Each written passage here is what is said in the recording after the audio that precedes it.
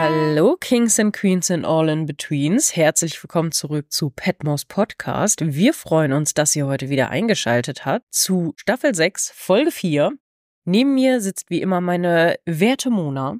Hallöchen. Neben mir sitzt natürlich die werte Isa, Hallo. die sehr souverän und hochprofessionell diese Begrüßung eingesprochen hat. Oh, stop it, you. Ja. ja, wir freuen uns, wie gesagt, dass ihr wieder dabei seid und wir haben wieder eine sehr interessante Folge heute zu besprechen. Ja, das Aber stimmt. vorher haben wir noch ein paar, ja, bisschen Geplänkel, würde ich sagen, ne? Ein bisschen Geplinkel. Ein wenig Geplänkel. Ja, eine ganz kurze Sache ist, dass wir ja wahrscheinlich demnächst irgendwann bei Potsblitz zu Besuch sein werden. oh, ich freue mich drauf. Ich auch, das wird so witzig. Als ich mit Jescha von, also von meinem anderen Podcast von Let's Po schon da war, war es halt mega lustig. Also die Folge hat so viel Spaß gemacht. Das war richtig, richtig gut. Und deswegen freue ich mich natürlich jetzt, wenn wir dann die nächste Folge dann wir beide auch da sind, weil das wird bestimmt auch mega lustig mit Melli und Mele. Das glaube ich auch und ich nehme mir fest vor, die Hörbücher wenigstens vorher zu hören, damit ich nicht nur das Kapitel kenne, das wir besprechen. Sehr gut.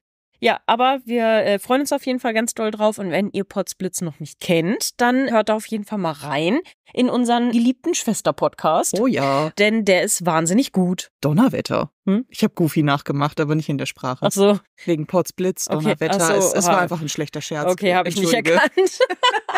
Und dann waren Jascha und ich äh, auf einem äh, tollen Live-Event, und zwar in Düsseldorf. Und von... Oh, Mona ist traurig. Ja, ich konnte nicht dabei sein. Ich musste am Brückentag den Laden hüten. Ja, tut mir leid. Aber es war total toll, weil wir waren nämlich beim Live-Auftritt von Tollkühn, von dem, auch einem anderen ganz großartigen Podcast. Und das war sehr, sehr schön, weil wir da erstmal ganz viele Leute getroffen haben, die wir natürlich auch kannten. Also das war richtig cool. Unter anderem auch Steady-UnterstützerInnen von uns und dann haben wir Nadine und natürlich die liebe Mele getroffen. Also Mhm. Nadine von Auf ein Butterbier, auch sehr cool. Da haben wir uns auch sehr, sehr gefreut, uns mal wiederzusehen. Vorher war es ja immer nur digital und jetzt ist es halt dann auch mal in live gewesen und es war so schön, weil die Nadine und ich haben uns halt so, wir, wir sa ich saß im Biergarten und sie guckte so vom Weiten und dann auf einmal guckte ich sie an. Moment, die kenne ich doch. Und sie guckte mich auch an, so, Moment. Und dann kam sie an, hallo, ich bin die Nadine. Und das war so toll. Und ich war so, oh mein Gott, hallo. Und ich bin vielleicht so ein ganz kleines bisschen traurig. Nein, ich bin sehr traurig. Bin wirklich sehr traurig. Ach, nächstes Mal, nächstes Mal. Auf Vielleicht jeden Fall war haben mich auch witzig. ein paar Leute vermisst. Das wäre sehr schön. Doch, doch, das äh, bin ich, da bin ich mir sehr sicher. Einige haben es mir auch live gesagt und ansonsten schreibt es uns einfach, wenn ihr Mona auch vermisst habt.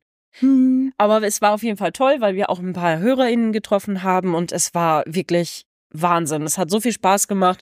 Nachher war ich mit Jascha und Mele am nächsten Tag noch in Düsseldorf und dann waren wir ein bisschen im Thalia. Also eigentlich wollten wir in die Stadt. Wir waren dann im Thalia. Thalia ist die Stadt. Ich, Ja. ich verstehe das Problem nicht. Ich habe vielleicht wieder mal ein paar Bücher gekauft und dann äh, haben wir noch Kaffee getrunken und das war dann unser Nachmittag in der Stadt. Ich weiß nicht, welches Problem du hast. Das ist so, also welcome to my life. ja, also ich habe da auch kein Problem mit, aber es war so, irgendwie hatte man das Gefühl, wir haben uns mehr vorgenommen und haben das gemacht. Aber das war fein, das war schön. Mhm. Deswegen war alles gut. Also wir, ich habe schöne Bücher gekauft. Mele wollte eigentlich auch Bücher kaufen, aber hat sich dann Respekt, äh, muss ich sagen, zurückgehalten. Aber sie musste natürlich auch noch mit dem Zug fahren und hatte nicht so viel Ja. Schleppmöglichkeiten. Deswegen nicht so wie wir, wir waren ja mit dem Auto. Genau, das war auf jeden Fall das, was so in letzter Zeit anstand. Das ist natürlich jetzt auch schon ein paar Wochen her, wenn ihr diese Folge hört, weil wir natürlich ein bisschen voraufgenommen haben, damit wir die Tage überbrücken können. Aber nichtsdestotrotz war das ganz, ganz toll. Und wenn nochmal ein Live-Event ansteht, dann solltet ihr da unbedingt hinfahren von Tollkühn, weil das ist nämlich auch ein richtig toller Podcast und das hat richtig doll Spaß gemacht. Das glaube ich sofort. Ja. Tolle Community, richtig tolles Publikum, echt war, war Wahnsinn. Das ist eine wunderbare Überleitung, denn dann können wir noch unseren hochgeschätzten Downton-Mäzeninnen danken. Auf jeden Fall. Welche da sind? Fox, Lady Emlyn, Lord Daniel, Lady Savick und Lady Freshwood. Richtig. Vielen, vielen Dank, dass ihr uns unterstützt auf Steady. Das rührt uns immer wieder sehr. Oh ja. Das hilft uns total toll mit dem Podcast und vielen, vielen Dank wirklich. Also ihr seid richtig, richtig wahnsinnig toll. Und wenn ihr uns auch auf Steady unterstützen wollt, dann äh, könnt ihr ja einfach mal in die Folgenbeschreibung gucken. Da ist nämlich der Link dazu. Genau. Genau. und was wollte ich noch sagen? Noch ein ganz großes Lob an unsere Downton Community in unserem Discord-Server. Wow. Der, was die wieder aktiv sind, ist Ja. halt mega geil. Und auch was die Downton Tales gerade wieder, ey, Ist so. heftig, heftig, Oh ja. wie die eskalieren. Wir müssen, äh, wir, wir sind unseren Steady-UnterstützerInnen noch ein paar Folgen schuldig, deswegen wir müssen noch mal wieder Downton Tales aufnehmen. Machen wir demnächst auch wieder. Oh, aber das ist ja richtig krass, wie viel die schon wieder geschrieben haben. Ne? Ich Ja. bin begeistert, wirklich. Ich, hab, ich auch. Ich habe nur die Masse gesehen, denn tatsächlich halte ich mich oft zurück, sie mir vorher durchzulesen, damit Mhm. ihr die echten Reaktionen von äh, mir bekommt, wenn ich sie vorlese. mhm. Zumindest die Parts, die ich vorlese. Die anderen liest du ja vor. Richtig, richtig, richtig. Aber auf jeden Fall, wenn ihr Lust habt, da vielleicht auch eine Art Downton Fanfiction mitzuschreiben, dann kommt auf unseren Discord-Server. Da sind ganz, ganz viele richtig tolle Menschen. Ihr könnt auch, wenn ihr nachträglich jetzt einsteigt oder irgendwie noch aufholt oder so, Mhm. kommt dazu. Wir freuen uns immer darauf, neue Leute zu treffen, auch wenn ihr vielleicht noch äh, nicht so aktuell seid oder so. Es ist trotzdem immer toll, neue Leute zu treffen. Und wir machen ja halt auch noch eine Weile weiter. Wir Mhm. haben, genau, was auch noch vielleicht im Apparativ wichtig wäre. Wir haben ja schon mal ein paar kleinere Umfragen gestartet auf Instagram und auch auf dem Discord, was wir weitermachen nach Downton. Mhm. Und da kamen sehr, sehr viele coole Vorschläge. Oh ja. Ja. Und im Moment sieht's so ein bisschen so aus, als ob wir dann doch erstmal vielleicht noch wieder eine Serie machen, weil das wurde sich doch ein bisschen mehr gewünscht. Aber Bücher sind auf jeden Fall nicht ausgeschlossen. Wir haben uns jetzt dazu bisher entschieden, wir haben uns entschieden, oder? Wir haben uns Mit- entschieden. Genau, wir haben uns entschieden, dass wir auf jeden Fall unseren Namen beibehalten, dass wir Ja. keinen Zweit-Podcast aufmachen werden. Wir werden nach wie vor Petmos Podcast bleiben. Allerdings werden wir unseren Händel unten drunter einfach in von ein Downton Abbey Podcast in ein Serien- und Buch-Podcast umbenennen. Genau so ist es. Dann sind wir nämlich freier einmal in der Genreauswahl, aber auch in der Epochenauswahl. Genau. Ja, und wir haben da noch schon ganz, ganz viele Vorschläge bekommen. Ich reiß jetzt nur gerade ein paar an, die relativ gutes Feedback bekommen haben Mhm. jetzt schon. Dabei waren Vikings. Wäre Ah. natürlich ein krasser Stilbruch, aber ich muss sagen, ich würde es feiern, weil ich habe die Serie geliebt. Oh, ich auch. Ja. Da gab es auch viel Schönes zu gucken, muss man sagen. Oh, ja, das stimmt. Da gab es schon ein paar ganz schön schnuckelige aussehende Hm, Personen, ne? Ragnar, my man. Oh, hallo Ragnar.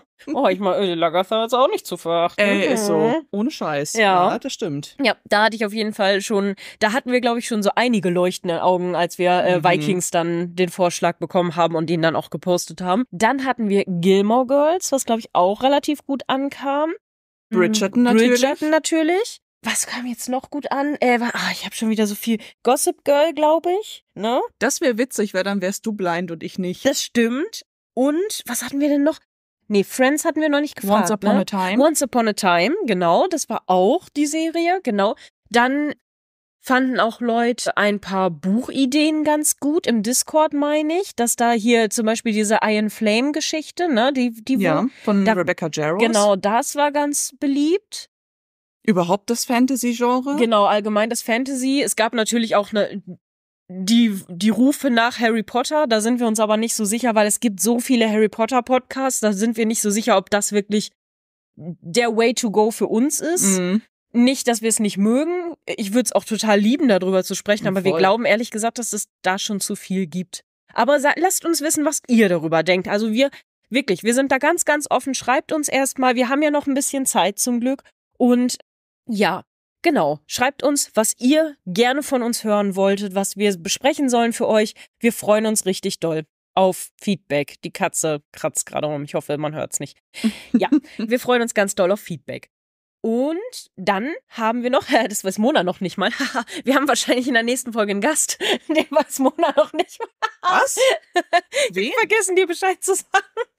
Die liebe Lali von den Seitenbummlern. Oh, wie schön. Dann lerne ich sie auch kennen. Ich freue mich sehr. Ja, ich hatte da schon mit ihr geschnackt. Ich weiß jetzt noch nicht, ob das ganz sicher ist, aber ansonsten, ihr werdet es ja hören in der nächsten Folge, wenn sie dabei ist. Hört da auch rein, auch ein toller Podcast. Ist das die die, die Folge, die wir dann mit ihr aufnehmen, die hoch angekündigte schlimmste Folge. Ich die kann mich dazu noch gar nichts sagen. Weil die vierte fand ich jetzt auch immer noch nicht so schlimm. Ich äh, kann dazu jetzt gar nichts sagen. Ey Leute, ihr Mona. könnt euch nicht vorstellen, wie es mir jedes Mal geht, wenn ich so eine Folge anmache, um die vorzubereiten, dann kommt irgendwo unheimliche Musik oder etwas, was mir Unbehagen auf, äh, auslöst. Und dann denke ich, ist das jetzt soweit? Vielleicht wollte ich dich ja auch nur triggern und genau das provozieren und es gibt überhaupt gar keine schlimme Folge. Du Fiesling. Wir werden sehen. Na gut. Ich würde aber sagen, das war jetzt erstmal genug Vorgeplänkel. Oder Mona, möchtest du noch was aus deinem Leben erzählen? Ich lese sehr viele Bücher. Stimmt. Oh, ich habe auch jetzt, ich habe ein Buch angefangen. Ich wusste nicht, wovon es handelt. Es ist ein Schmutzbuch. Oh. Es ist so schön. Ich musste so lachen. Ja, ich auch. Vor allen Dingen, als Isa mir auf der Leipziger Buchmesse das Buch gezeigt hat und sagte, ja, es war ein reiner Optikkauf. Und ich sagte, Isa, Dark Romantasy, bist du sicher, dass das dein Genre Ich glaube, ist? es ist nicht mal Dark. Ich glaube, es ist einfach nur. Ich glaube, es ist nicht mal Romantasy. Ich glaube, es ist so ein Dark Academia Romantic Smut. Glaube ich. Das fasst das Ja, Genre, finde ja. ich, sehr gut zusammen. Aber dann äh, sagte ich zu Isa, bist du sicher, dass das dein Genre ist? Da sagt sie, nö, ich weiß nicht mal, worum es in dem Buch geht. so gut. Ich habe das Gefühl, ich weiß, worum es geht, ohne mir den Klappentext durchgelesen zu Aha, haben. Einfach, aha. weil ich das Buch sehe, wie es aussieht. Und es hat sich alles bestätigt Es hat- ab Seite 20. Ja, es war so krass. Ich habe das Buch angefangen und ich, wir, wir waren essen, also Mona und ich mit noch Freunden und ich so, Leute, ich muss euch was erzählen. und dann habe ich dieses Buch ausgepackt und es Mona auch in die Hand gedrückt. Und ich habe gesagt, okay, es hat keine 20 Seiten gedauert, bis es schon BJ-Action gab. ich sage es jetzt mal so. es war einfach so, ich musste so lachen, als ich das gelesen habe. Ich so, okay, was habe ich mir jetzt hier eingebrockt schon wieder? Also, das ist echt, also das Buch heißt Very Bad Kings. Mhm. Ja, mal gucken, ich weiß noch nicht. Also, ich bin noch nicht so sicher, aber ich habe gesagt, ich lese das jetzt durch, weil es ist auch nicht besonders dick. Ja.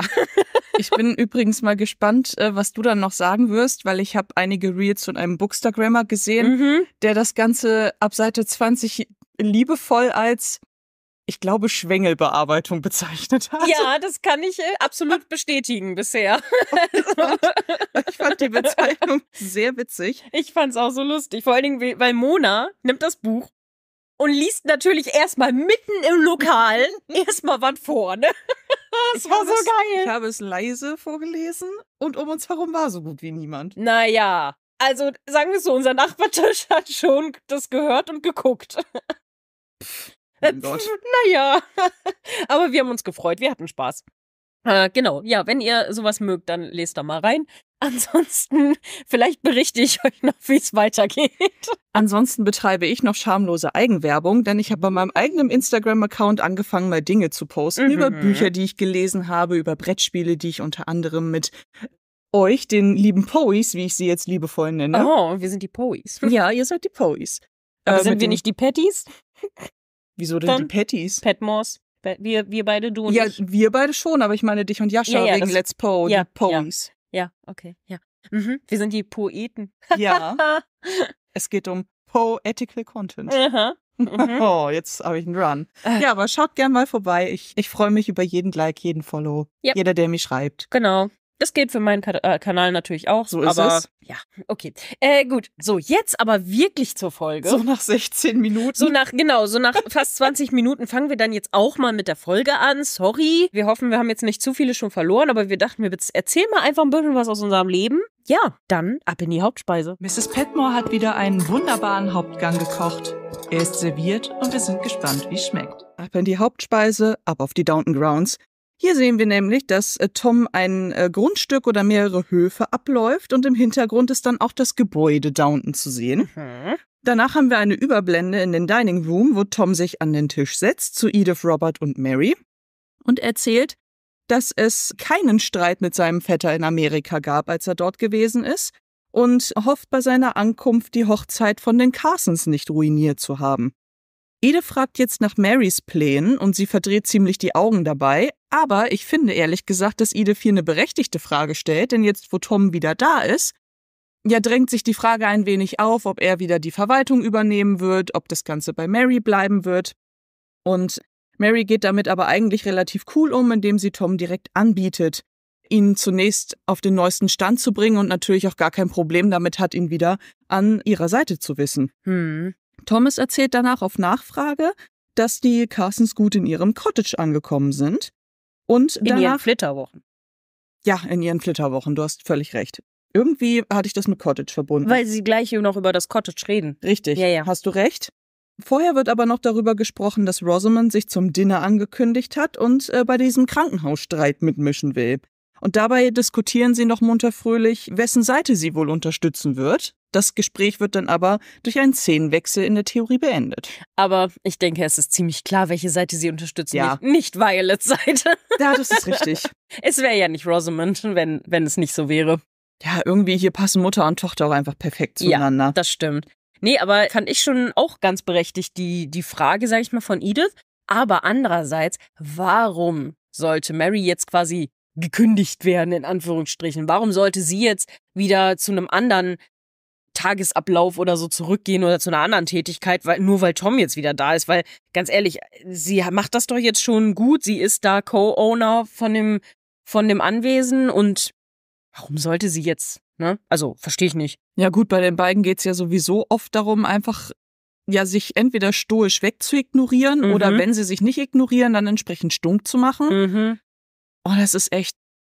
Ja. Ich hätte mir so gewünscht im Verlauf der Staffeln, die hatten so viele Momente, wo ich mir dachte, jetzt könnte die Beziehung zwischen den beiden Ja. endlich mal besser werden. Diese Folge auch wieder. Ich hätte es mir so gewünscht und es passiert einfach nie. ja. Und ich glaube, diesbezüglich habe ich die Hoffnung aufgegeben, bei Thomas noch nicht. okay. Ja, meine, meine Meinung zu Thomas hat sich geändert. Irgendwie, Mhm. ich möchte jetzt, dass der sein persönliches Glück findet. Er und Andy. Das muss irgendwie was werden. Wir werden sehen. Oder mit einem anderen Mann. Ich bin dafür. Wir werden sehen. Wir wechseln in die Servants Hall, wo Sergeant Willis offenbar mit Mrs. Baxter sprechen will. Das bekommt sie von Mrs. Petmore gesagt. Aber die neugierigen Nachfragen kann sie quasi unbeantwortet lassen, weil die Klingel läutet, dass sie zu Cora muss. Und danach beginnt auch ein fröhliches Rätselraten, was die Polizei denn von ihr will. Die Bateses, also Anna und Bates, freuen sich, dass sie mal ausnahmsweise nicht selbst betroffen sind von dem Besuch. Und als Thomas reinkommt, und äh, gerade dabei ist, verschiedene Briefe zu sichten, greift er auch entsprechend ein und sagt dann eben auch mit, ja, schön für Sie, aber für Miss Baxter ist das mit Sicherheit nicht witzig. Ja. So ist es. Fand ich war ein cooler Moment. Er, ja, fährt dann Mrs. Petmore so ein bisschen an, dass beim nächsten Mal sie solche Einladungen gefälligst über ihn laufen lassen soll, denn solange Carson nicht da ist, sei er ja hier der Butler. Mhm. Ja, Mrs. Petmore hat dann nur einen ironischen Kommentar für ihn übrig, so nach dem Motto, ach ja, so ist das, ja, mal gucken, wie lange das noch währt, nicht wahr? Ja. Und dann verschwindet sie in Richtung Küche. Ich habe Mrs. Petmore sehr gefeiert und dann würden wir die Szene wechseln. Ja, vor allen Dingen sagt sie ja so zu ihm, warte, was sagt sie? Ja, du bist das jetzt gerade mal für ein paar Sekunden so ungefähr, ne? Und bis, bis Mr. Carson wieder da ist. Also bild dir da mal nichts drauf ein. So. Und ich denk so, ja, yeah, Miss Petmore, my girl. Ja, das stimmt. Wobei ich, als ich es geguckt habe, noch direkt dachte, mal gucken, ob das für Thomas so eine Art Bewährungsprobe ist. Mhm. ob er, obwohl er ja auch so unbeliebt dort unten ist, es als Butler hinbekommt, die Kontrolle zu wahren, um vielleicht auch in äh, Carsons Achtung wieder ein bisschen zu steigen. Mhm. Denn in den letzten Folgen hatten wir ja oft diese Thematik, dass er ja eigentlich ein bisschen rausgemobbt wird. Mhm. Und irgendwie hätte ich mir da so ein bisschen gewünscht, dass er das, dass er vielleicht so einen Dreh hinkriegt oder dass er sich beweisen kann, um Ja. halt da bleiben zu können. Ja, er macht's ja aber in dieser Folge nicht so viel besser. Mhm. Andersrum, am Ende der Folge kriegt er ja zumindest ein nettes Wort von Carson. Ja, das stimmt. Ja. Na gut. gehen wir in Coras Bedroom, wo sie anscheinend eine Nachricht von Spread in der Hand hat oder zumindest ist über Baxter eine Nachricht von Spread eingetrudelt. Und sie sprechen aber dann darüber, dass Violet Lady Shackleton zum Dinner mitbringen will Mhm. und dass die Fronten in diesem ganzen Krankenhausstreit ja eigentlich schon geklärt sind, aber Violet jetzt sich noch irgendwie unter der Hand noch zusätzliche Verbündete ranholen will. Mhm. Und Lady Shackleton ist wohl so eine erschlichene Verbündete, so Ja. möchte ich es mal bezeichnen. Wahrscheinlich hat Violet Spread beauftragt, den Brief dahin zu bringen. Oder Ja, den Brief genau. aufzugeben, wie auch immer. ja. Ja. Ja, in der deutschen Synchro war das am Anfang ein bisschen äh, irritierend für mich, weil ich dann dachte, Spread hätte Cora persönlich wegen etwas geschrieben. Durch den Kontext mhm. war es dann relativ klar, aber im ersten Moment war ich ein bisschen verwirrt. Ja, ach. Wir sind im Verwaltungsbüro, mhm. wo Mary Tom gerade fragt, ob er seinen alten Job wirklich zurück möchte. Und er sagte, ja, er könnte sich das zwar durchaus vorstellen, aber eigentlich möchte er etwas machen, was nicht nur mit dem Anwesen zu tun hat. Denn die ganze Zeit in Amerika, aber auch die auf Downton hat ihn zweifelsohne verändert.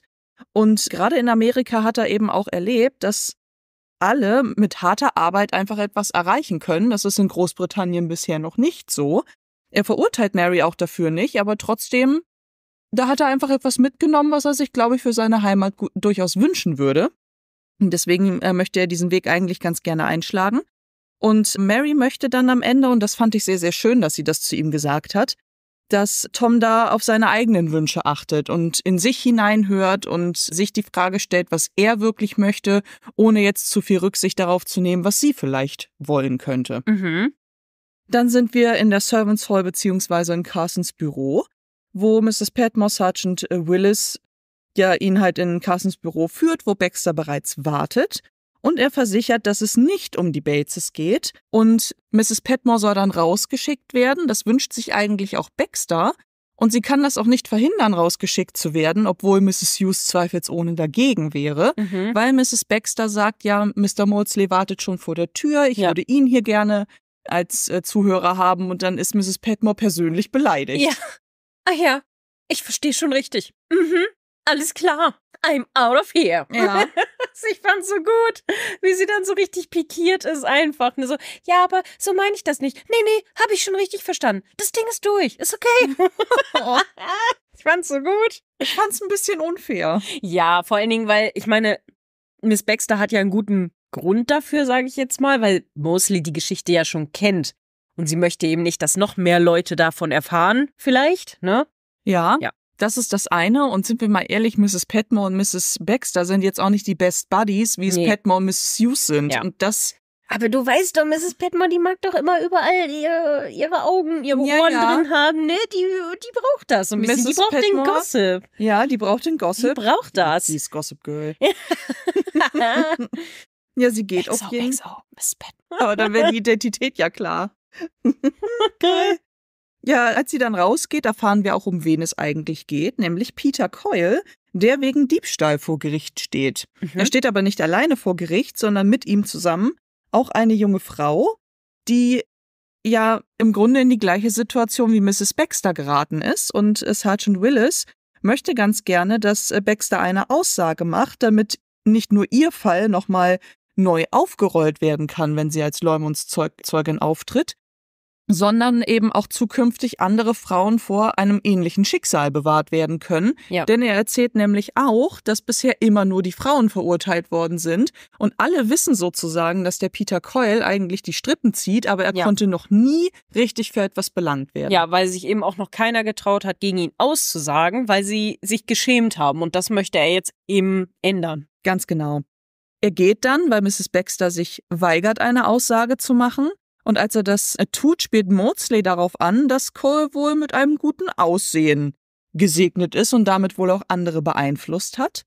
Und er möchte Baxter auch davon überzeugen, selber auszusagen, weil er eben auch sagt, hey, sieh's doch mal so, böse Menschen kommen nur deswegen davon, weil die Guten nichts unternehmen. Ja, das fand stimmt. ich war ein sehr schöner Satz. Ich bin am überlegen, ob das mein Lieblingszitat ist. Es ist strong. Es ist wirklich strong. Aber ich kann Miss Baxter auch total verstehen, Absolut. dass sie nicht schon wieder dieses Fass aufmachen will, dass sie auch vielleicht ein bisschen Angst vor dem Mann hat, dass der ihr was könnte, falls der wieder freikommt, weil er sich wieder rauswieselt, ne? Mhm. Dass er dann vielleicht ihr was antun könnte oder halt zu ihr kommen könnte, ihren Ruf schädigen könnte und so weiter. Ne? Also ja. ich kann es auch verstehen. Andererseits und das finde ich auch gut, dass sie sich ja noch dafür entscheidet. Das kommt ja gleich noch. Katze. Das kommt ja gleich noch. Und da finde ich das halt auch richtig strong, dass sie eben sagt, nee, doch, komm, mach ich. Mach ja. ich doch. Ja. Wir wechseln erstmal in die Library, wo Robert am Schreibtisch sitzt und Cora gerade reinkommt. Sie erzählt dann ein bisschen genervt, dass Lady Shackleton wohl noch ihren Neffen zum Dinner mitnehmen will. Und keiner weiß so richtig, wer das eigentlich ist, aber sie vermuten, dass Violet im Grunde ja ihr kein Mittel zu schade ist, um diesen Krankenhauskampf auf Biegen und Brechen für sich zu entscheiden. Mhm. Das Ganze wird ein bisschen unterbrochen. Aua, Jonesy. Jones, bitte nicht krallen. Das Ganze wird von Tom unterbrochen, der reinkommt und erzählt, dass die Carsons ein neues Cottage kriegen sollen, weil ja das, was sie sich gekauft haben, erstmal noch renoviert werden muss. Das Ja. erfahren wir später, dass die Handwerker da noch zugange sind. Und in dem Zuge möchte äh, Cora gerade über die U-Tree Farm sprechen. Aber Robert und äh, Tom wollen das eigentlich ganz gerne selber übernehmen und nur das Haus vermieten. Genau. Das heißt, die Frage um Mason ist in dem Moment überhaupt gar kein Thema und Robert äh, erzählt noch am Ende, dass er froh ist, dass Tom wieder da ist. Ja. Voll schön. Ja, mega. Ist Wer so hätte das schön. gedacht am Anfang? Ja, dass der mal sich freut, dass Tom wieder da ist. Und ich finde das auch richtig cool, weil Tom erzählt ja auch ein bisschen was von seiner Einstellung jetzt, seiner Mhm. politischen, weil er möchte ja auf jeden Fall was machen, womit alle fein sind. Das heißt, er möchte Mary auf jeden Fall den Job nicht wegnehmen. Ja. Er möchte aber irgendwas machen, was sich nicht nur um das Anwesen dreht, damit er eben auch sich selber ein bisschen verwirklichen kann. Und er findet halt auch, also er möchte halt dem König nicht zu sehr in die Tasche spielen, logischerweise, Mhm. weil er ist ja einfach politisch auch so eingestellt, ne? ja. Dass er ja sehr sozialistisch eingestellt ist. Aber er hat auch nichts, und das fand ich ein bisschen komisch für Tom, er hat auch nichts gegen den Kapitalismus, wie er in Amerika gelebt wird, wo ich Ja, dachte, stimmt. Tom, was ist los mit dir, ne? So, weil, nein, ich glaube, ihm geht's aber nur darum, dass er das gut findet, dass eben auch die Arbeiterklasse sich richtig krass hocharbeiten kann und Ja. das eben auch während einer Lebensspanne von einem normalen Menschen, ja, dass die eben auch was erreichen können. das stimmt. Und da sehen ja. die anderen, also Robert und Mary ja so, ja, aber hier ist es ja noch nicht so angekommen. Und er so, ja, aber die Zeiten werden sich ändern und auch hier wird das passieren. Ja, Und da ist er ja natürlich schon ziemlich zukunftsweisend, muss man sagen. das stimmt. Ja. Dann ist es so ein bisschen Hold on. mhm. Da wird noch was passieren. Mm, Und ich bin der. Erste, der dabei ist. Ja. Wir wechseln in Marys Room, wo sie nach den neuen Dienstmädchen fragt. Und Anna meint, dass sie im Grunde genommen sehr nett sind, aber man kenne sie eigentlich gar nicht so richtig, weil sie nicht auf Downton wohnen, sondern abends halt immer nach Hause gehen und deswegen sie und Mrs. Baxter teilweise ein bisschen mehr Arbeit verrichten, also sowas wie die Betten aufschlagen, Kissen aufschütteln, solche Geschichten. Mhm. Da macht sich Mary dann auch direkt Sorgen wegen Annas Schwangerschaft Mhm.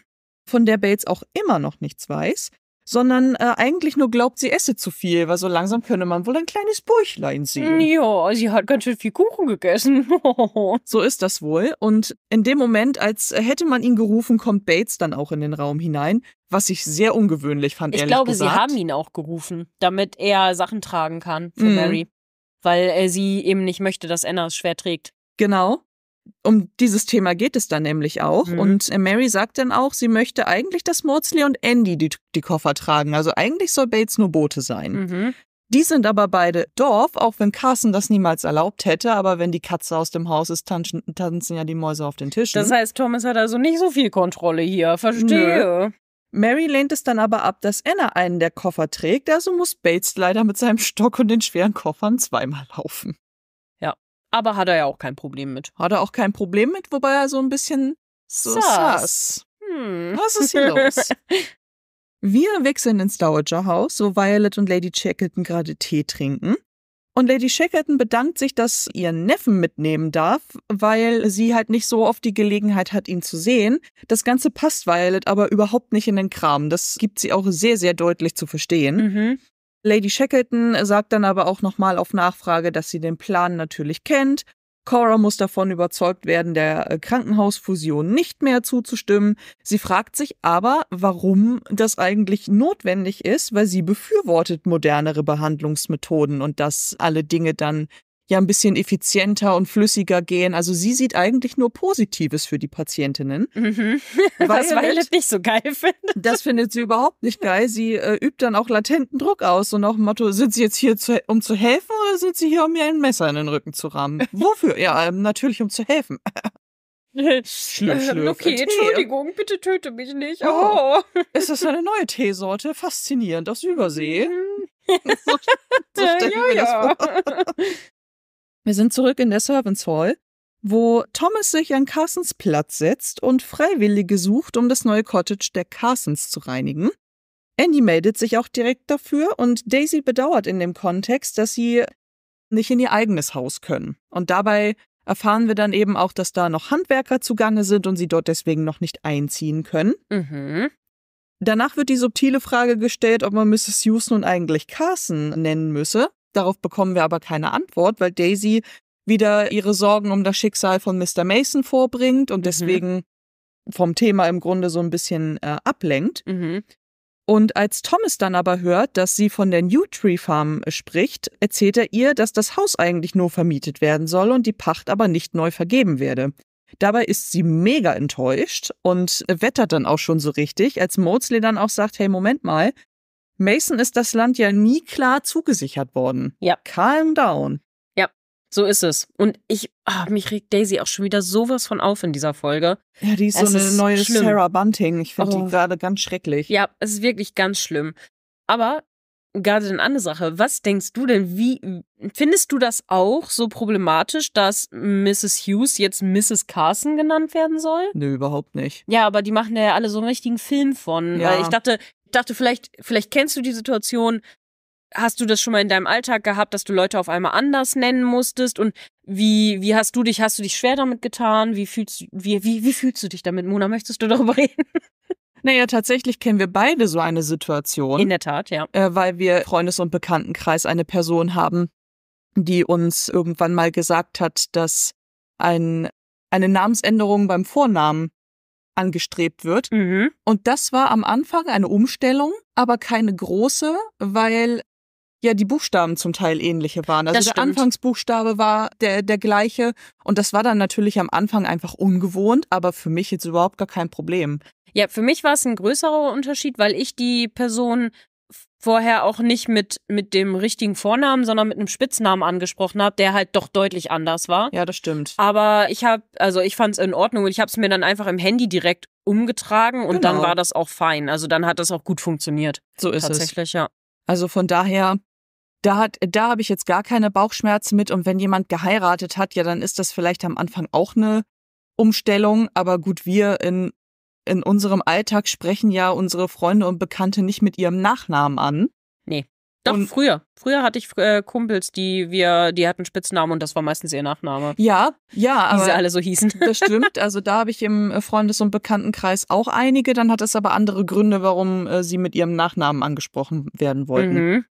Nee, aber an und für sich verstehe ich auch nicht, was die da für ein Fass aufmachen. Das Ja. ist, es ist halt ein Luxusproblem. Ja, natürlich, auf jeden Fall. Und ich finde auch so dieses, immer die ganze Zeit, oh, da müssen wir sie ja Mrs. Carson nennen. Oh Gott, das ist ja so schrecklich. Und ich denke so, Leute, es ist nur normal, dass wenn Leute heiraten, dass du sie dann vielleicht auch mit einem anderen Nachnamen ansprechen musst, ne? Ja, so ist es. Ich meine, die könnten ja auch dazu übergehen, sie Elsie zu nennen, aber das ist auch, glaube ich, nicht so angemessen. Also, Zu der Zeit wahrscheinlich nicht. ja, nee. ich meine, ich finde die Lösung auch für uns im Podcast natürlich nachher einfacher, weil wir uns nicht umstellen müssen. Aber ich hätte jetzt auch keinen Schmerz damit gehabt, sie Mrs. Carson zu nennen. so ist es. Ja. Ja. Daisy stürmt auf jeden Fall raus und später dann auch Andy, der von Thomas nicht zum Cottage begleitet werden will, weil Thomas bietet das an. Er so, nee, nee, das krieg ich schon alleine hin. Wusch. So, jo, alles klar. Okay. Was ist hier denn los? Ja. Thomas möchte kein Mitleid von Maudsley. Der spricht nämlich ähnliches aus und Bates schaut suffisant rein, weil er das Ganze natürlich beobachtet hat. Ich, finde es auch so geil, wie Bates einfach die ganze Zeit immer so schelmisch im Hintergrund ganz oft steht und das alles irgendwie so so wohlwollend, witzelnd betrachtet. So. Ja. Was ich aber ganz schön finde eigentlich, weil es zeigt ja auch ein bisschen, dass, dass Bates auch eigentlich bereit ist, auch mit, mit Thomas vielleicht jetzt auch ein bisschen lustiger umzugehen in Ja. der Zukunft. Und das finde ich irgendwie auch ganz nett. Also auch mit dem Spruch aus der letzten Folge, wo er noch meinte, oh, oh Gott, bewahre, dass sie es hier nett finden oder so Mhm. ne, Mr. Barrow. Also ich finde, die, man hatte das Gefühl, dass Bates, glaube ich, diese, diese Feindschaft so ein bisschen aufweichen möchte. Und das würde ich mir eigentlich auch wünschen. Ob er das jetzt so aktiv macht, bin ich mir gerade gar nicht so sicher, aber ich finde, gerade so in vergangenen Szenen kam schon durchaus durch, dass es ihm, wie ich finde, recht gut gelungen ist, auf eine ich will nicht sagen charmante Art, weil das stimmt nicht ganz. Mir fehlt ein passendes Wort dafür. Aber ihm so ein Mhm. bisschen die Pistole auf die Brust zu setzen im Sinne von, jetzt sei doch mal ehrlich zu uns, Jung. Ja. So, das tut nicht weh. Ja, aber gerade das finde ich halt so nett, weil das ist- wirkt so, weißt du, so, das wirkt wie so ein freundschaftliches Sticheln und Triezen so ein bisschen.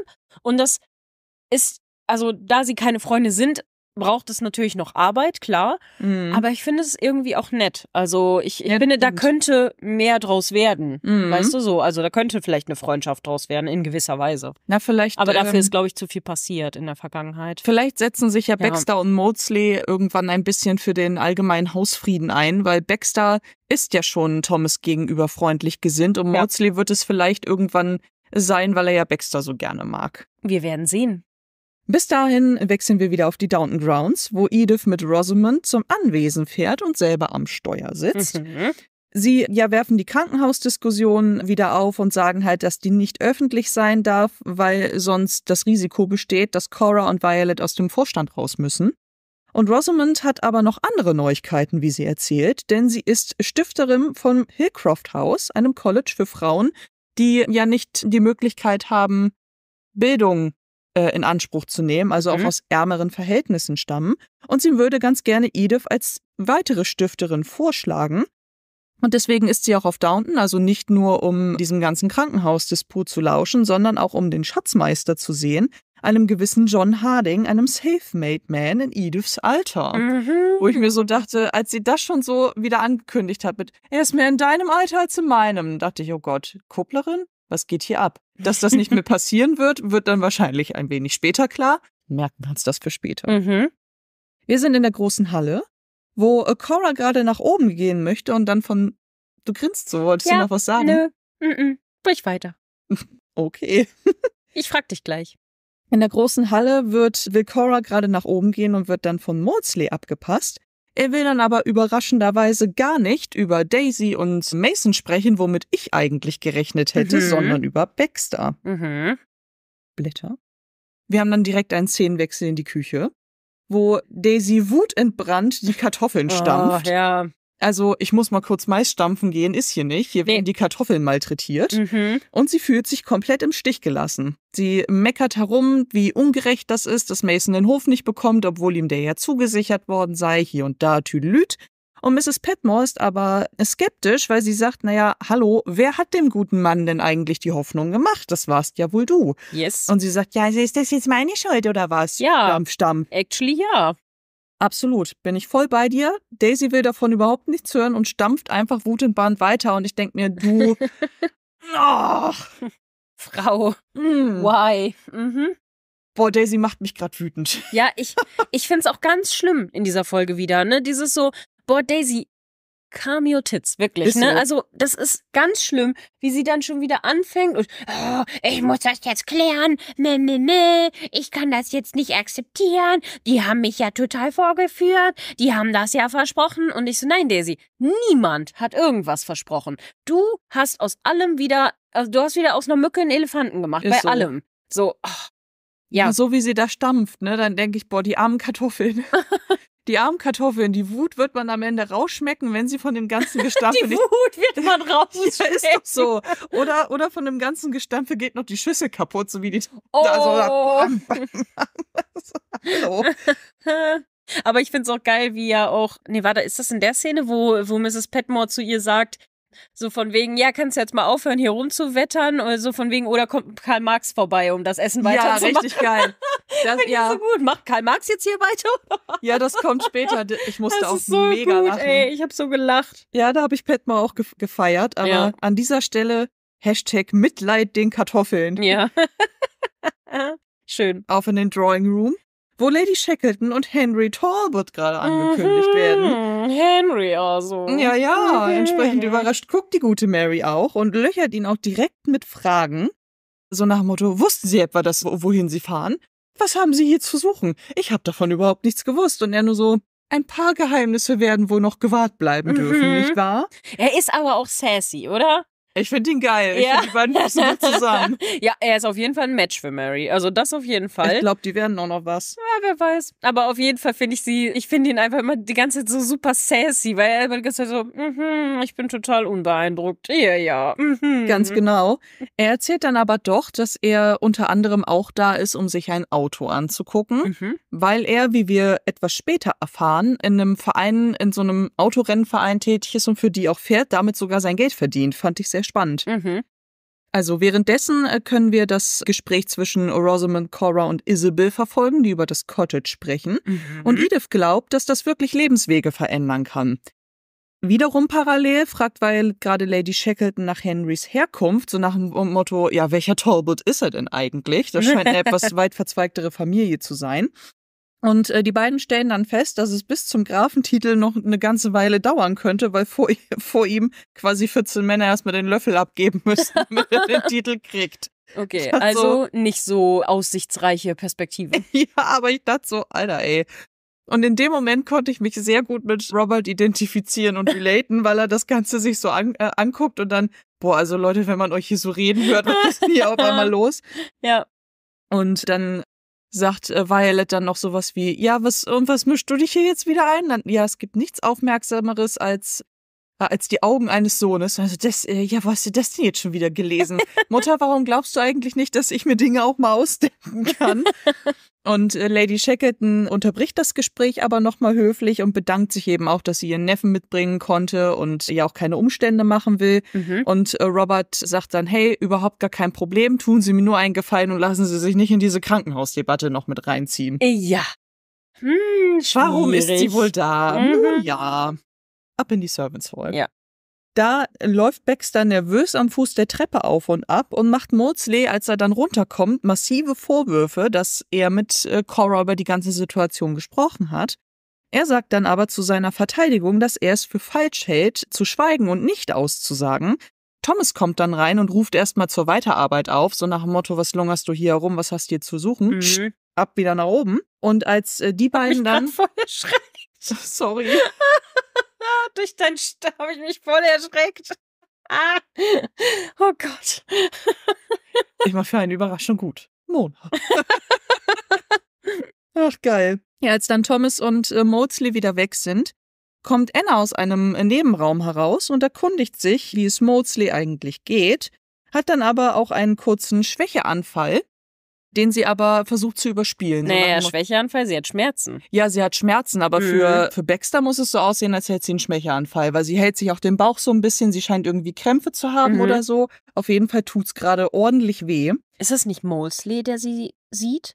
Ich glaube, Molesley steht da noch. Baxter ist weggegangen. Molesley steht da noch und Anna ist so, und dann, er ist, Anna ist alles okay und er- sie so, ja, ja, alles gut, alles gut, ne, es ist nicht schlimm, ist nicht so wild. Ja, Und- du hast recht. Alles oh, gut. meine Notizen. Ja, auch Äh, alles gut. Sorry, ich baue hier Filmfehler. Filmfehler, Nein. Notizfehler. Oh, ich habe vorhin wieder, kleiner Funfact, wieder diese, dieses Kochding, Fun geguckt, Fact. was wir, äh, worüber wir noch bei unserem Eine ähm, Zwiebel, eine, kleine, Zwiebel. rote Zwiebel. Zwiebel. Und was ich total vergessen hatte, Oh, war, ich lieb's. äh, stellt die Butter bereit und dann könnt ihr sie für eine Minute leise betrachten. Ah ja, stimmt, genau. Betrachte die Butter leise für eine Minute.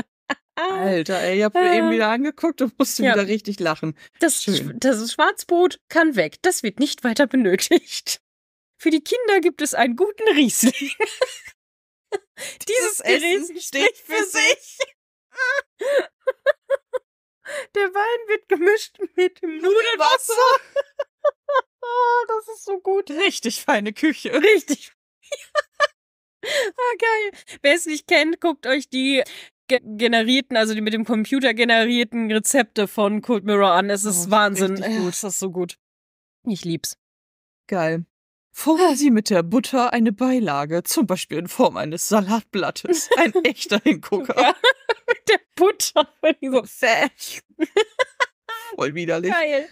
Ja, zurück in den Dining Room, Mhm. wo die Krankenhausdebatte auf Hochtouren läuft und Lady Shackleton sich aber nicht so klar äußern möchte. Währenddessen äh, flüstern Edith und Tom über Toms Pläne.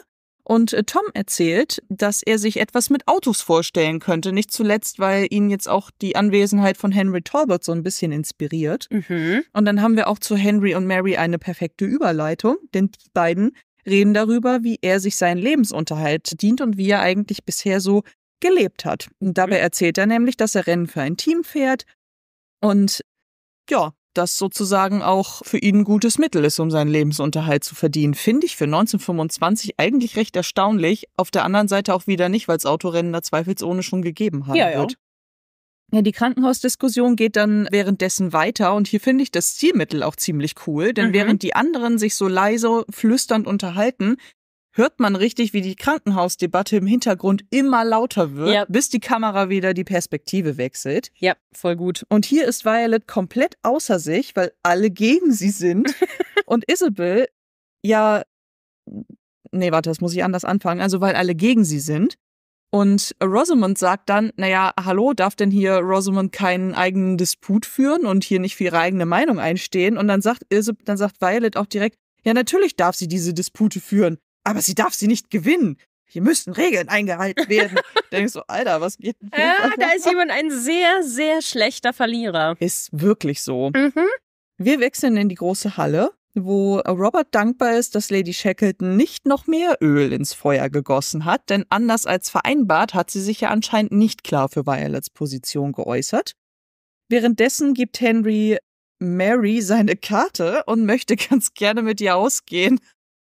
Richtig geil. So dieses, ich gebe ihm mal hier meine Karte, vielleicht sind wir irgendwann mal wieder in London und wir Ja. nehmen einen Drink ein oder wir gehen vielleicht mal essen. Ja, aber es So, sie haben meine Karte. ist aber auch so geil, ne? Dieses so, anstatt zu sagen, ja, wir können uns ja verabreden, so und so, sie finden mich da und da, was weiß ich, das ist meine Nummer, hier ist meine Karte. Und denkst so, oh, hallo, Mr. Worldwide. Ja, aber ganz ehrlich, ich fand das, ich fand das erstaunlich, aber irgendwie auch cool von ihm, weil damit muss Mary die Initiative ergreifen. Nix damit, er muss anrufen, Ja, sondern ja. hier hast du meine Karte, das steht alles drauf. Ich sag's wenn ja, du sassy Interesse Henry. Hast. Mhm. Mhm.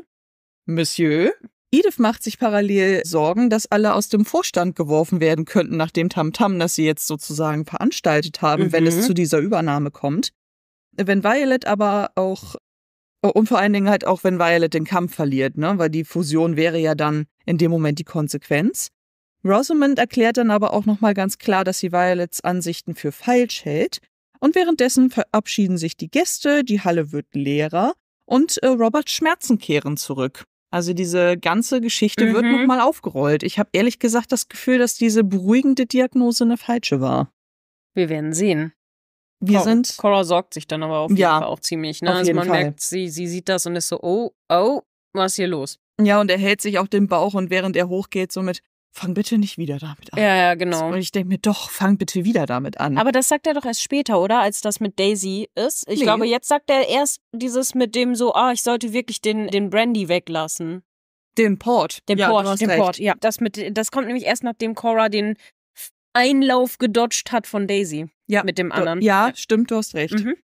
Hm, ja, das war auch eine coole Szene. Ja. Merken wir uns das für später. Mhm. Erstmal sind wir am Hinterhof, wo Thomas und Baxter miteinander reden.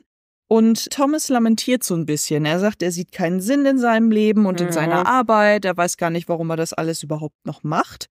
Und ja, Baxter versucht ihn so ein bisschen zu, zu trösten, so nach dem Motto, naja, stellen wir uns diese Fragen nicht alle? Und er sagt dann halt, naja, meine Situation ist von ihrer Grund verschieden, weil sie werden hier geschätzt, sie haben hier Freunde, ich habe sie nicht.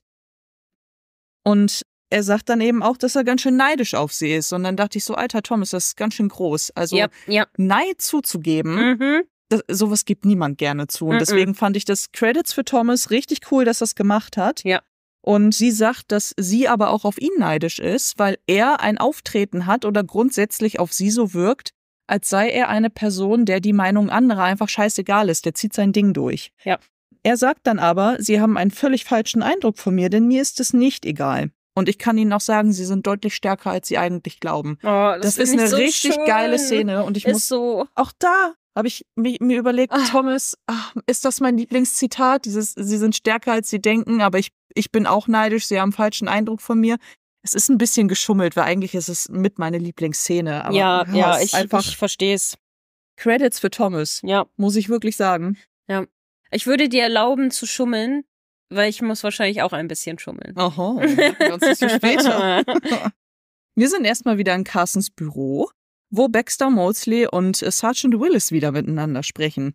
Baxter sagt wieder, dass sie nicht aussagen will, weil wieso sollte sie es denn auch tun, um ihre Rachegelüste zu befriedigen? Ja, ja.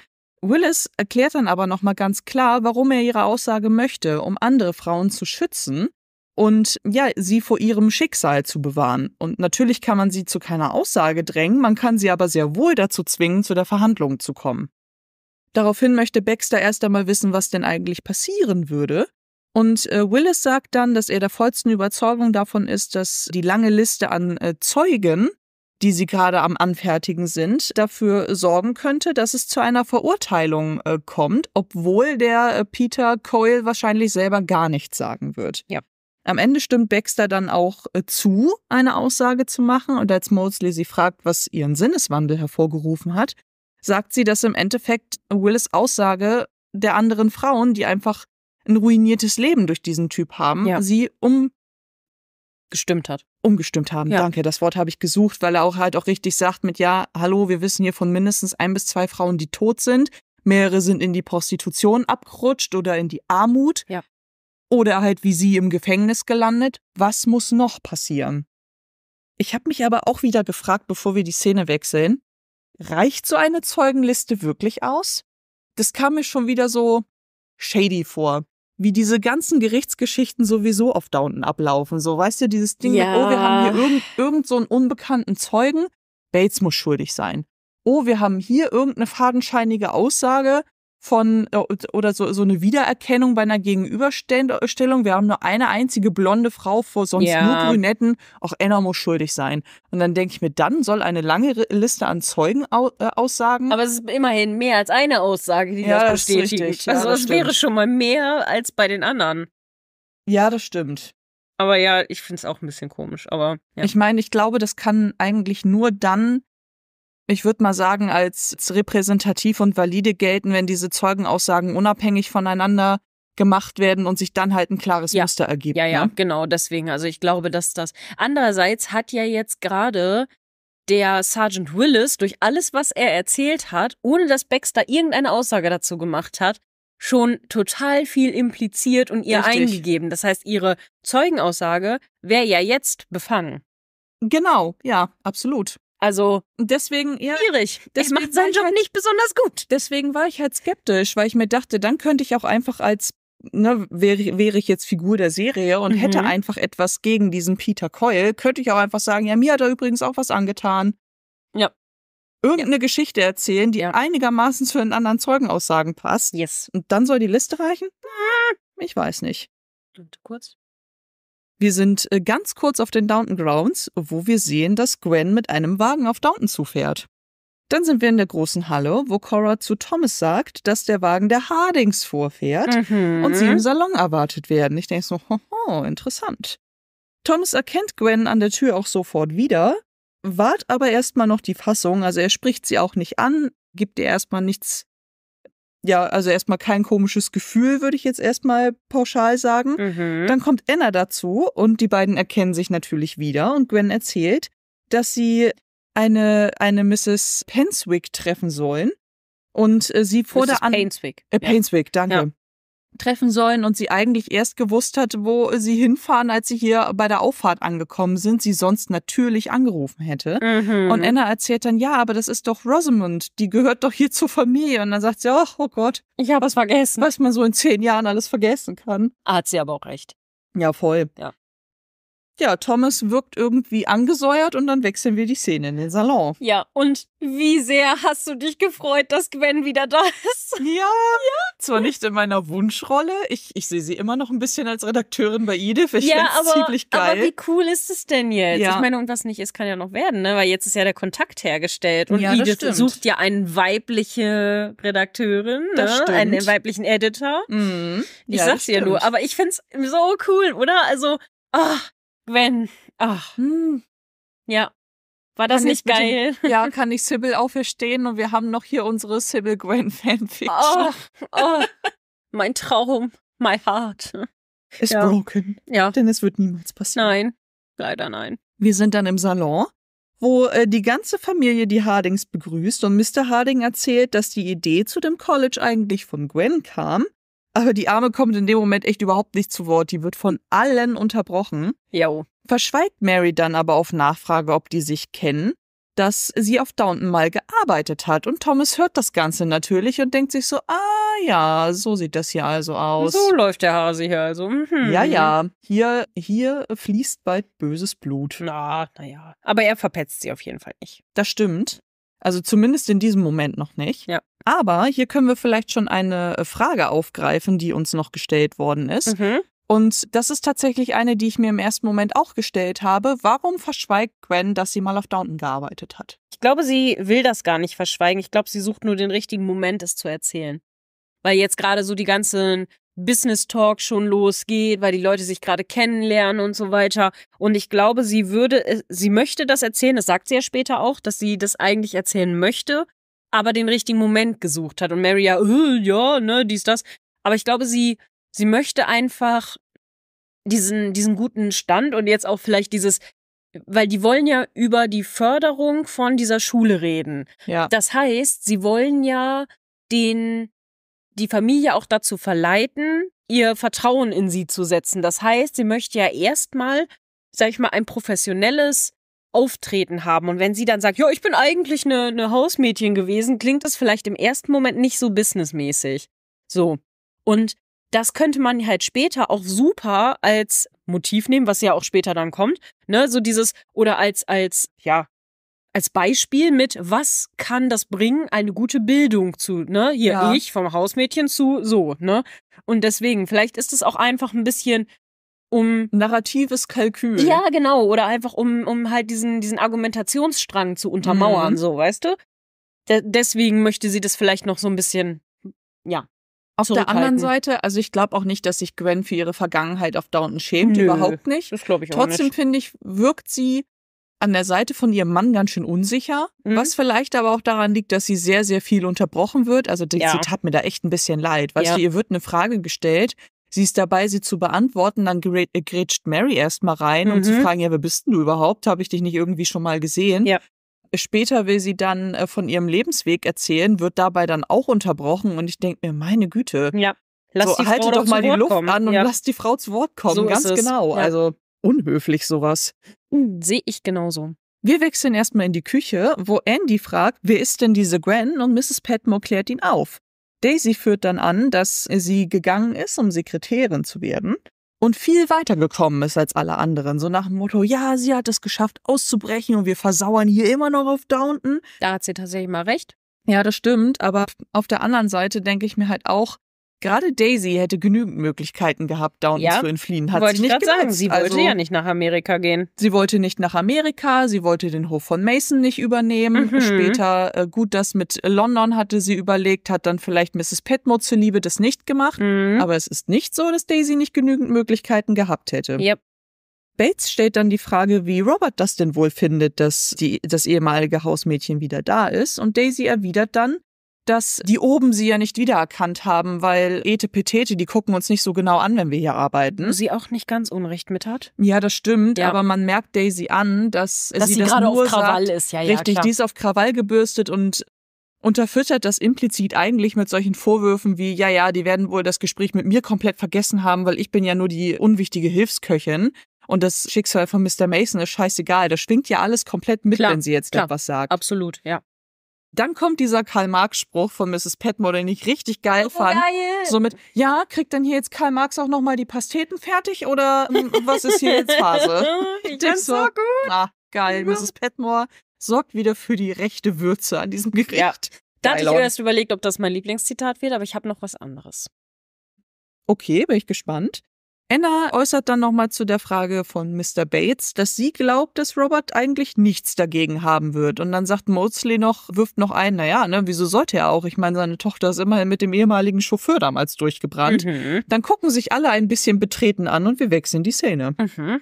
nämlich zurück zu dem Salon, wo Isabel Gwens Geschichte hören will und sie erzählt nichts erstmal von ihrer Zeit auf Downton, sondern fängt damit an, dass sie Sekretärin in einer Telefongesellschaft war weil auch ihr Mann erzählt, dass durch das Telefon sich für ihn alles verändert hat und für Gwen eben auch. Sie haben sich dadurch ja im Grunde auch kennengelernt, Ja. weil sie dann bei einer örtlichen Verwaltung angefangen hat, wo Mr. Harding auch tätig war. Ja. Jetzt wäre vielleicht auch ein guter Punkt gewesen, das schon mal zu erwähnen. Ganz genau, ja, weil aber Gwen ja. nämlich genau jetzt auch betont, dass sie mit einer ordentlichen Ausbildung vielleicht sehr, sehr viel mehr erreicht hätte. Und Isabel sagt dann aber auch direkt, dass sie mit ihr ganz gut relaten kann, Ja. weil sie ist Krankenschwester gewesen, wäre aber sehr, sehr gerne Ärztin geworden und dieser ja, Berufsweg war ihr verwehrt. Ja. Thomas kündigt dann den Lunch an und Tom erkennt Gwen auch wieder und sie reden auch noch ganz Thomas. kurz. Nee, Tom. Als Thomas den Lunch ankündigt und alle schon gehen, reden Tom und Gwen noch ganz kurz Ja, miteinander. aber, aber Tom hat sie doch vorher schon erkannt. Ja, aber Hat dazu nichts gesagt. Ach so, richtig. okay. Also in ja. der Szene merken wir erst, dass es diesen Wiedererkennungsmoment gab, weil die beiden ein kurzes Gespräch Ah miteinander ja, okay. führen. Mhm, okay. Und er dann eben auch sagt, Mensch, du hast dich total verändert, du bist sehr weit gekommen, richtig Ja. schön, dich wiederzusehen. Mhm, mhm. Diese Geschichte. Ja, halt. ja. Okay. Ja, und damit ist mein Part schon vorbei. Habe ich jetzt irgendwie nicht mit gerechnet. Hast du nicht noch den Teil drin, wo Thomas snitcht? Nee, der kommt bei dir, weil danach kommt die Szene, wo Mrs. Petmore fragt, Ja. ob Gwen denn runterkommen Ja, wird. stimmt. Die Stimmt. kommt hast jetzt recht. als nächstes. Ja, gut, dann äh, würde ich sagen, dann ist die Folge an dieser Stelle schon vorbei. Mhm. Zum Abschluss gönnen wir uns nochmal ein leckeres Dessert. Haben wir noch was Dessertiges? Lass mich kurz gucken, ob wir vielleicht noch spontan eine Frage im Discord bekommen haben. Mhm. Haben wir nicht. Ja, das. Die andere Frage, die noch kam, die beantworten wir am besten in deinem Part. Okay. Das bietet sich an. Mhm. Schauen wir mal eben kurz, ist hier noch irgendwas passiert? Wir haben äh, von Franzi eine Nachricht bekommen, dass sie leider noch hinterherhängt und sich aktuell im Wahlkampf befindet und deshalb nicht äh, schafft, die Downton-Folgen gerade aktuell zu gucken. Ach, Also viel Erfolg deinem Mann. Ich hoffe, der steht für eine gute Partei. Ich hoffe. ja. Aber sie hört natürlich trotzdem unseren Podcast. das freut uns sehr. Jo. Mhm, mhm, mhm. Ja, ansonsten haben wir, glaube ich. Auch einen sehr, sehr langen Aperitif gehabt. Ja, das stimmt. Ich wir haben ja denke- heute viel, viel rumgedüdelt, ne? Genau. Deswegen, ja, ich würde sagen, dann hört das nächste Mal wieder rein. Wir freuen uns, wenn ihr wieder einschaltet zu Teil 2 von Folge 4. wenn es Mhm. dann äh, wieder heißt. Guckt Drag Race All Stars. Ja! ja, das stimmt. Mona und ich sind wieder total gehypt. Uh! Start your engines, ladies. And let the best drag queen win. Ach, so geil. Und diesmal für Charity. Mhm. Für Charity. Super geil. Ah, ich bin so gehypt. Uh! Oh, ich freue mich auch. Ja, wir haben nämlich gestern tatsächlich die erste Folge geguckt. Ja. Das wollte ich noch einwerfen, bis es wieder heißt. Gehabt euch wohl. Habt noch einen äh, schönen Samstag, beziehungsweise Donnerstag, denn am Donnerstag werdet ihr wahrscheinlich diese Folge hören. Und wir freuen uns wieder mit euch zu dinieren. Genau. Bis dann. Bye. Bye.